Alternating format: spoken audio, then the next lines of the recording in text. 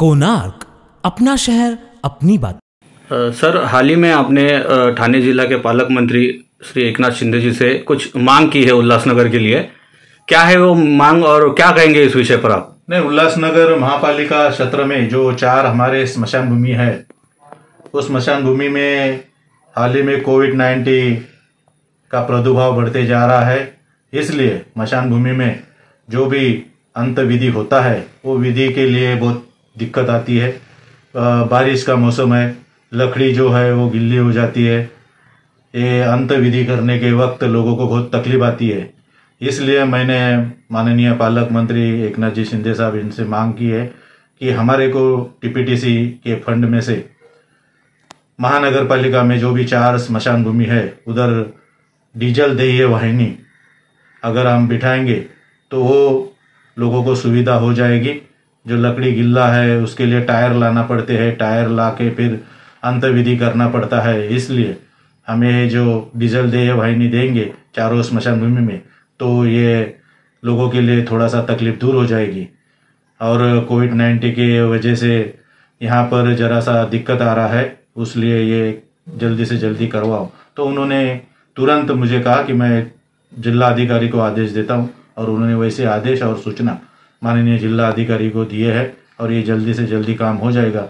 उसलिए मैंने आयुक्त तो साहब से भी चर्चा की है कि इसका आप जिला अधिकारी साहब से फॉलोअप लेते रहिए और ये जल्दी से जल्दी ये उल्लासनगर शहरों के लिए शहर में बैठना चाहिए।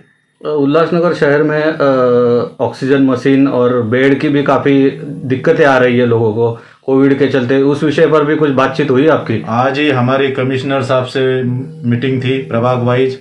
आज ही मैंने और कई लोगों ने ये मुद्दा उठाया है और कमिश्नर ने जो हमको जानकारी दी है वो प्रयास अच्छी तरह से कर रहे वो खुद डॉक्टर है आईएएस ऑफिसर है और मुझे लगता है जो उन्होंने तैयारी की है उस तैयारी के मुताबिक यहाँ पर काम हो जाएगा।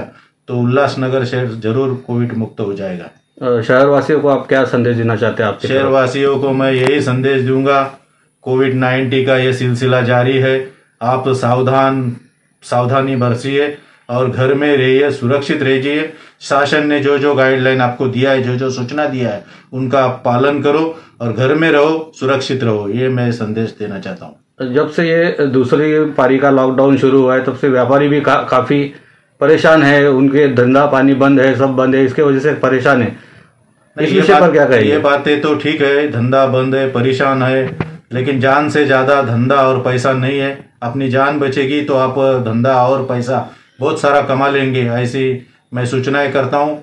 आप सुरक्षित रहिए, भले व्यापारी है या दुकानदार है, वो सुरक्षित रहिए सुरक्षित रहिए, नहीं तो परिस्थिति गंभीर है। इस परिस्थिति का मुकाबला करने के लिए कुछ अच्छे कदम उठाने पड़ते हैं और वो थोड़े अपने को गलत लगते हैं, लेकिन वो कभी कभी अच्छे होते हैं।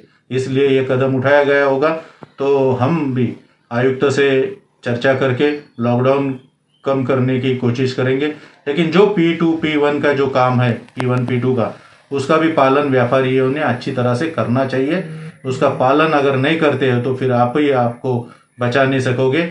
इसलिए आपको बचना है, ये कोविड से मुकाबला करना है तो आपको जो जो गवर्नमेंट के गाइडलाइंस है, सूचना है, उनका पालन करना होगा।